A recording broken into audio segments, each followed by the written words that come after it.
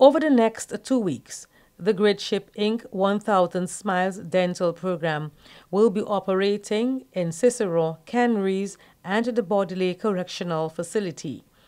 Great Shape Inc. 1000 Smiles is operated by the U.S. based nonprofit Great Shape Inc. and provides access to free first class dental care and education. Founded by Joseph Wright, also known as Papa Joe, the Great Shape Inc. 1000 Smiles Dental Program has been a staple across the Caribbean since 2003, operating in the islands of Jamaica, St. Lucia, and Grenada. This week, the 1000 Smiles Dental Program is running concurrent clinics at the Ciceron Combined School and the Bordelais Correctional Facility. The dental clinic wraps up in the community of Canaries from July 30th to August 4th at the Canaries Primary School. So we have in week one, uh, we have 33 volunteers who've come in through Papa Joe's, Joseph Wright's initiation and leadership. They've come in from across the US essentially, and they've given their time and service to the project. They will, they've come, they've worked for one week, they will leave. In week two, another set of volunteers will arrive and do the same thing. What they have in common is the location, the venue for bed nights and accommodation, which is Sandals Grand and Sandals Halcyon. So this is the contribution of the resorts to the project that they provide. People, young people, older ones as well, have decided to give back to their communities or to our communities through their vocations. And so they've come, the call has been made, and they've come. Um, we have male and female people from all ages, from young adulthood into more mature people who have agreed to give the service and they really enjoy the experience. Now, for them, the climate is one of the bigger deterrents because it's really hot and you can feel the heat your hair as well. So they really are suffering, but they're doing the work with good hearts, and that's what it's really about.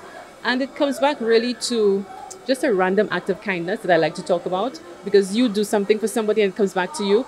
Nicole Smith is a project coordinator and has been affiliated with Great Shape 1000 Smiles for the past 18 years.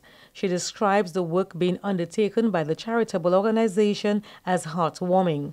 I've done all the project that they offer because you know they have the literacy, they have teacher teachers, they have the uh, eye care as well. So it's a big project that, and it's it's just for the years, you know, it's just so great to see the work that they have done, meeting so many great people and seeing the service. You know, you see someone come in with a uh, a tool that needs to be filled and seeing that person coming out smiling and the changing uh, the changes on those faces.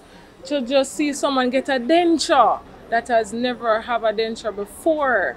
And when you look at that face and you see the tears the tears of joy it gives me the sense of wanting to do more as a fellow Caribbean person as well. Ms. Smith also describes the magnitude of the logistical preparation ahead of the delegation's visit.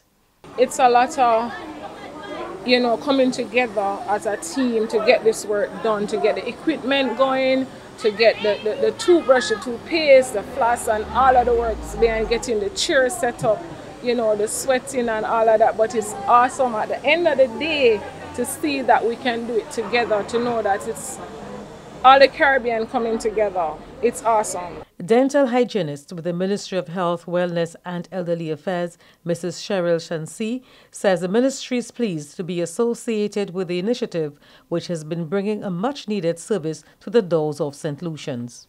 It helps us because the department that we have it is a small complement of staff, and we will never be able to accomplish every task there is in dentistry. And so when they come here and they assist us doing procedures like fillings, cleanings, surgical extraction, and, not, and simple extractions as well, it helps us in a tremendous way.